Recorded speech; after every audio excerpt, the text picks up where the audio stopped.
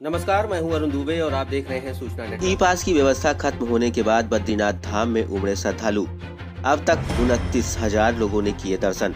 बद्रीनाथ धाम में श्रद्धालुओं की भीड़ उमड़ने के बाद यहाँ व्यापारी बहुत खुश हैं। इससे पहले ई पास के चलते सीमित संख्या में श्रद्धालु पहुँच रहे थे।